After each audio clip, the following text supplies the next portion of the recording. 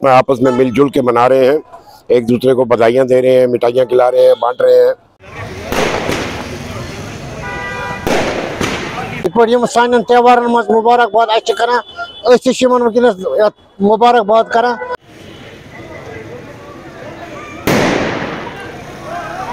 कश्मीरी पंडित बड़ी खुशी के साथ मना रहे हैं और माता लक्ष्मी की पूजा आज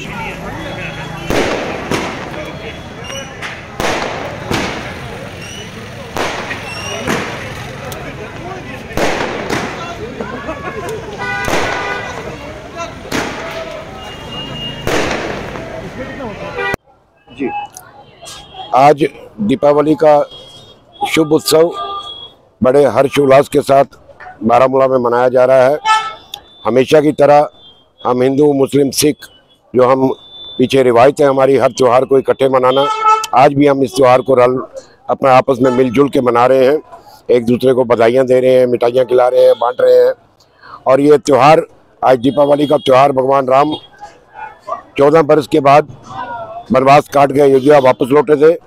अयोध्या वासियों ने आज का वो दिन बनाया था तो वही सदियों से ये दिन आज उसी उपलक्ष्य में मनाया जा रहा है।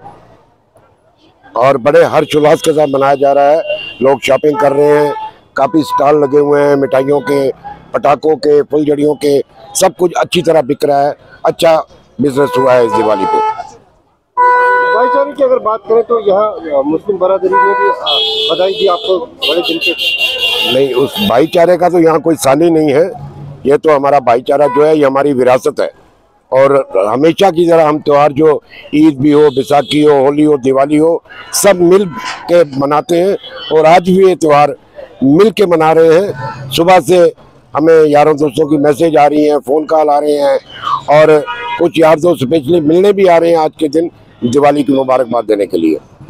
कैसा रहा आज का दिन आपका? दिवाली का पर्व हम यहाँ के कश्मीरी पंडित बड़ी खुशी के साथ मना रहे हैं और माता लक्ष्मी की पूजा आज शाम को यहाँ पे होने जा, जा रही है। ये ये सब भगवान राम के अयोध्या वापस आने के उपलक्ष्य में ये दिन मनाया जा रहा है। तो मैं सारी बरादरी को मैं मुबारकबाद पेश करता हूँ। शान बा शान बा सत कि मन वनस दिवाली त्यौहार। अत मुबारकबाद करान इपट यम सान त्यौहार मज मुबारकबाद करान वनकस मुबारकबाद करान हिंदू, मुस्लिम भाईचारा हमेशा यसान बरकरार गज रोजन